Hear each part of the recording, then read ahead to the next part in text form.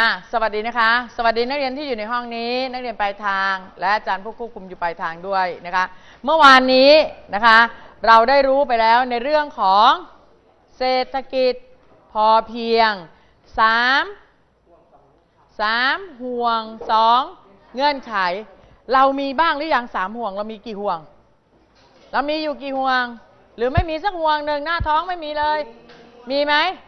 มีสามห่วงไหม มีเรื่องอะไรบ้าง แน่ใจเลยว่ามีพอประมาณแล้วมีเหตุผลแล้ว มีภูมิคุ้มกันแล้ว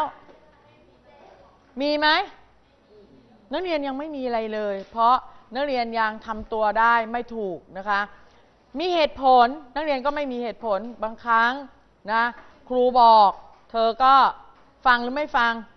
ไม่ฟังทั้งทั้งที่บอกแล้ว ใกล้จะสอบแล้วนะคะ เรามีเวลาเรียนกันแค่อีกประมาณ 2 อาทิตย์เต็มๆ นับอาทิตย์นี้ด้วยก็เป็น 3 อาทิตย์เต็มๆ เราก็จะสอบแล้ว แล้วเราก็จะแยกย้ายจากกันนะคะปาต้องโกจะต้องฉีกออกจากกัน บางคนก็จะต้องไปเรียนการอาชีพ บางคนก็เรียนต่อสายสามัญ บางคนก็ชอบสายอาชีพ บางคนไม่เรียนเลยนะคะพอแล้วจบม .3 ภาคบังคับ พอแล้วเศรษฐกิจก็ครูบอกว่าเศรษฐกิจพอเพียงบ้านหนูไม่มีเงิน ก็โอเค นักเรียนก็สามารถไปประกอบอาชีพได้นะคะวิชาที่นักเรียนเรียนมานะคะ เช่นงานบ้าน หรืออะไรก็แล้วแต่นักเรียนสามารถที่จะนำไปประกอบอาชีพได้นะคะนำไปประกอบอาชีพได้อ้าวดูจากสไลด์ต่อไปเลยนะคะ ดูจากสไลด์ต่อไปเลย 3. การมีภูมิคุ้มกันที่ดีในตัวนะคะยังเออเถียงดิ เถียงเลยว่ายัง ยังคนละคนละหัวข้อเลย อันนี้ครูดึงมาเลยยังแน่นอนเอออย่าเถียงสิจ๊ะ เราจำได้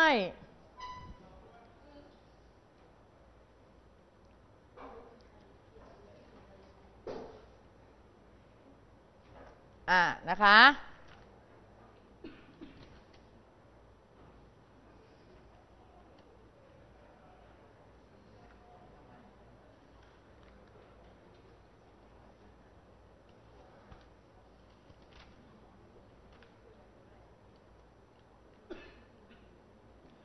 ภูมิคุ้มกันนะคะ เราจะต้องรู้รอบรู้ รอบคอบ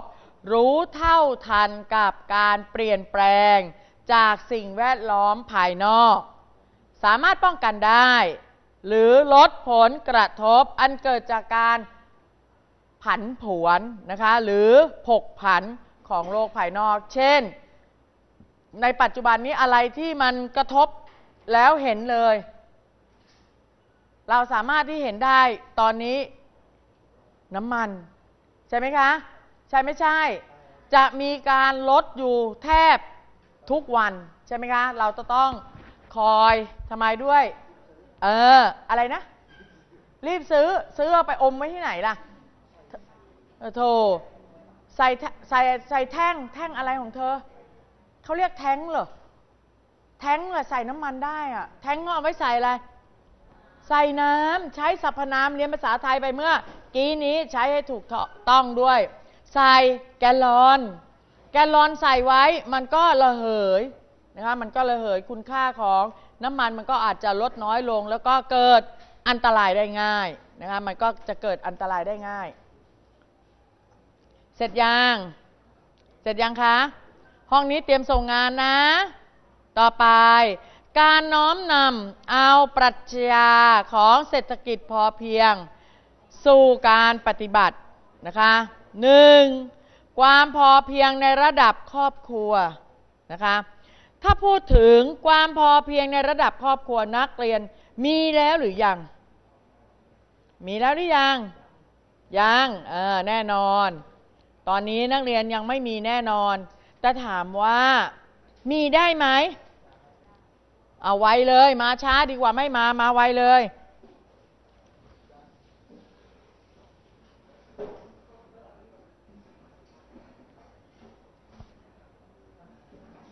ความพอเพียงในระดับครอบครัวนะคะ เว้นที่ไว้แล้วก็จดตามที่ครูอธิบายให้ฟังนะคะ ความพอเพียงในระดับครอบครัวเป็นความพอเพียงขั้น ขั้นอะไรเอ่ยขั้นพื้นฐานนะคะ เป็นความพอเพียงขั้นพื้นฐาน โดยเฉพาะเราเน้นในเรื่องของการ การการเกษตรนะคะเน้นในเรื่องของการเกษตร ให้คนรู้จักการพึ่งพาตนเองนะคะรู้จักคำว่าพอนะคะนักเรียนรู้จักคำว่าพอแล้วหรือยังเออยังนะคะนักเรียนยังไม่รู้จักคำว่าพอ พัฒนาตนเองนะคะ ตอนนี้เราได้พัฒนาตนเองไหมนะคะ พัฒนาตนเองเพื่อเสริมสร้างความเข้มแข็งและความชำนาญนะคะ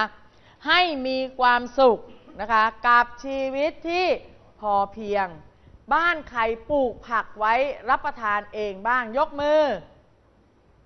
อปลูกอะไรจ๊ะ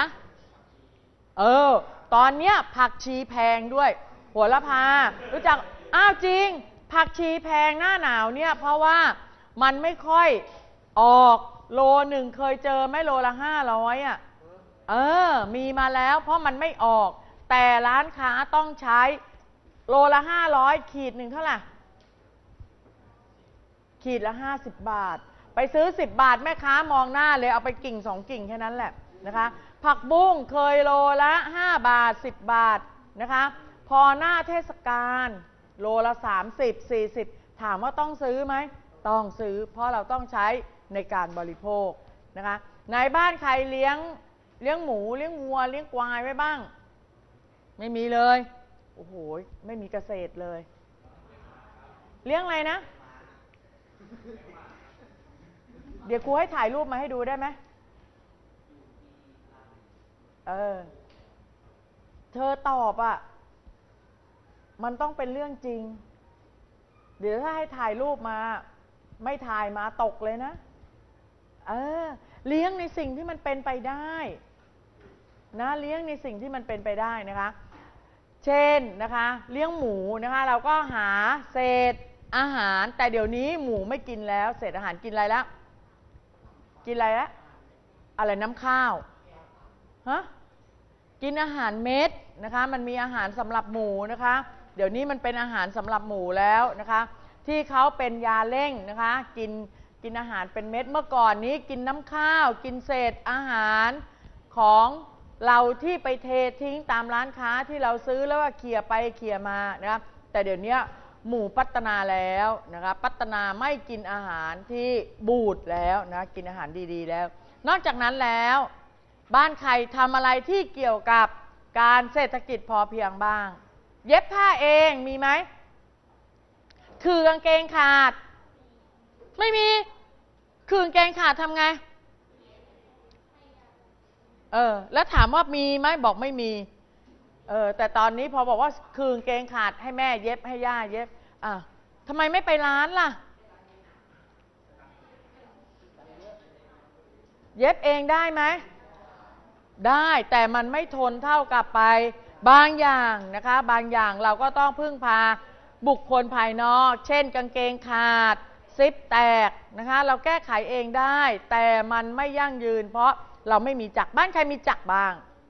บ้านใครมีจักรเย็บผ้าบ้างใครเย็บผ้าเป็น โอ้โห ไม่เป็นไรเลยในอยู่บ้านทำอะไรกันบ้างเนี่ย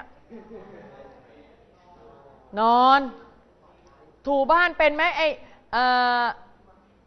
ครูบอกครูมีความรู้สึกว่าเธอบอกอุ้ยถูบ้านเป็น แต่เวลาให้ถูห้องเรียนโอ้โห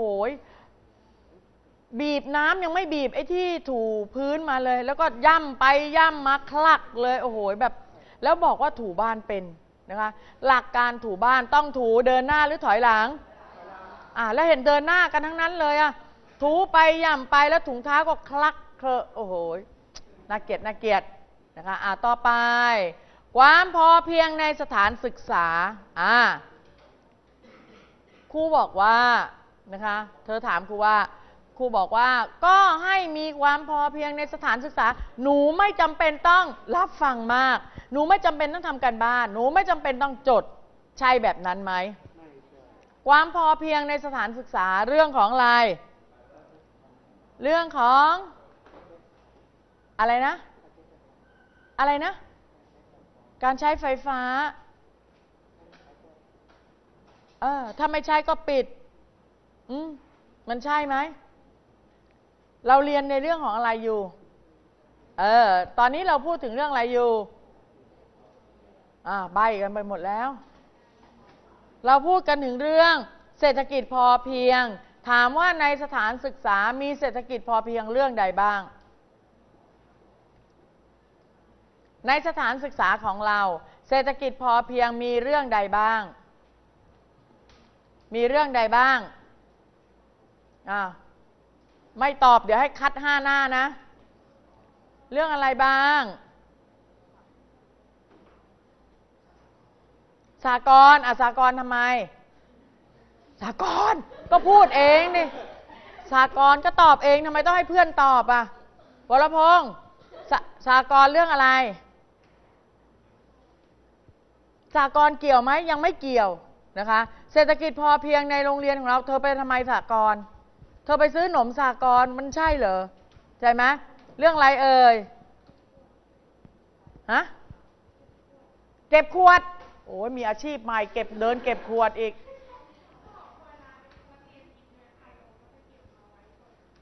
อ่านักเรียนกินพะโลงเก็บแล้วเกี่ยวอะไรกับเรา